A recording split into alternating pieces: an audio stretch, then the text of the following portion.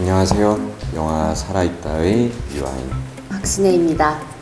오늘로써 저희 영화 살아있다가 개봉한 지 8일째입니다. 정말 이렇게 힘든 시기임에도 불구하고 극장에 찾아와 주신 여러분 진심으로 감사드립니다. 저희가 무대 인사를 따로 하지를 못해서 이렇게나마 영상으로 여러분들께 감사 인사를 어, 전하고자 합니다. 살아있다가 여러분들에게 작게나마 시원한 느낌을 선사하고 또 살아있다는 느낌을 만들어 드렸기를 바라는 마음입니다. 여러분 어떻게 영화 즐겁게 잘 보셨나요?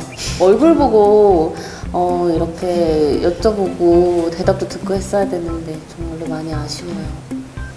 여러분 늘 건강 유의하시고 영화 살아있다 앞으로도 계속 많이 사랑해 주시기를 바랍니다. 감사합니다. 감사합니다. 저희 다음 생존 신곡도